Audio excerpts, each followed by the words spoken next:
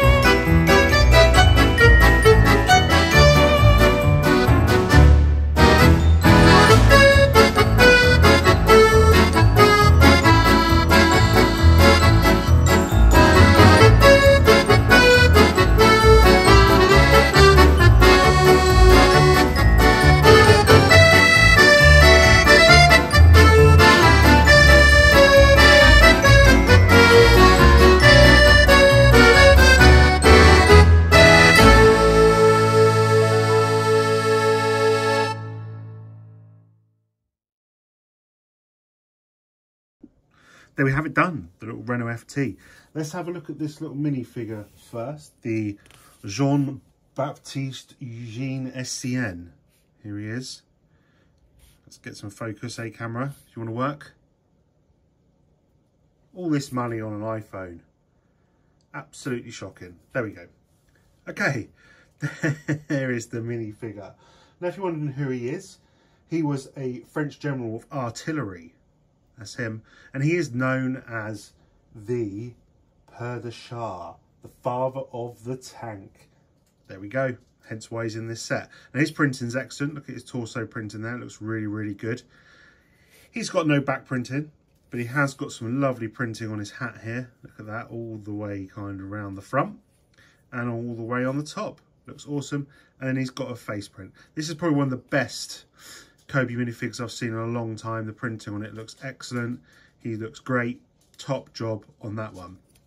Tank. Let's get some tank talk, shall we? So, the Renault FT. Obviously, we get the little nameplate here, but this is the little Renault FT. This, actually, modern tanks still have a lot to thank this tank for. Interesting. First tank with a movable turret, which they have now way ahead of its time, this tank. Also, driver in the front, engine in the back. Modern tanks still kind of follow that trend. So you can thank the little Renault FT for that. Um, nice little tank though. The set looks fabulous. I love the detailing in the tracks here. That's really good. And the colours are cool. The printing, awesome. I mean, look at that printing there on that sloped part there. And on the turret itself. We've got the chains on the back. This thing's to kind of give it a bit of stability when it goes up and over things. Also, more detail on the side. Love the colour of that cog in there. And then we've got the nice exhaust and another like printed part there. little shovel accessory. And then on the front, we've got some more printing. Lovely little tank. Now, obviously, this was a light tank.